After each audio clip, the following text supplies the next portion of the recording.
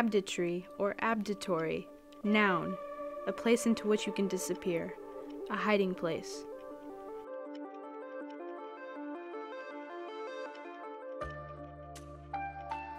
I've told them the general story, but they blink away my words. I scream, Don't let me be gone, as I slip back into my element. I escape back into my shell so I don't have to confront their ignorance. It's through sleep deprived eyes I tell myself it's for them. For them, I carve a place of hiding into my work. Hide in plain sight and maybe you'll get by. Try and recharge in the dark that pushed you out into the open. I cannot hide in a place that tells me no, but I must. Because this location leads to that location, and that location is what I crave.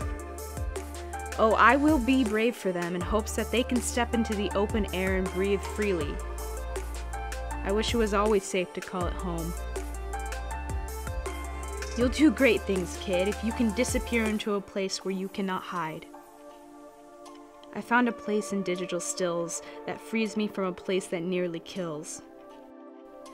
Don't treat it like an exotic getaway, it's mine and it's theirs to call home.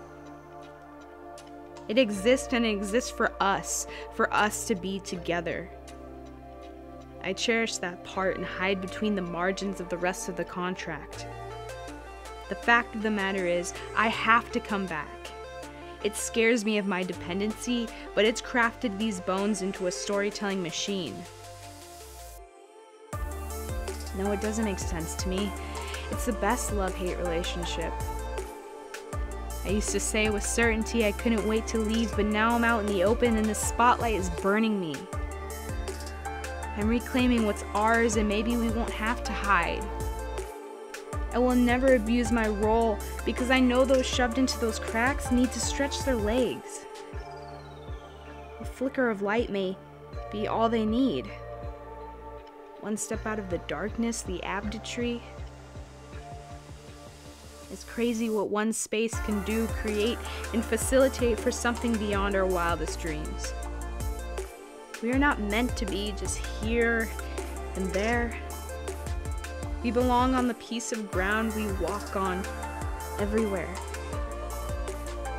It may stir some trouble, but I am fully prepared to speak on behalf of my disappearing place because I have so much to dispute and praise.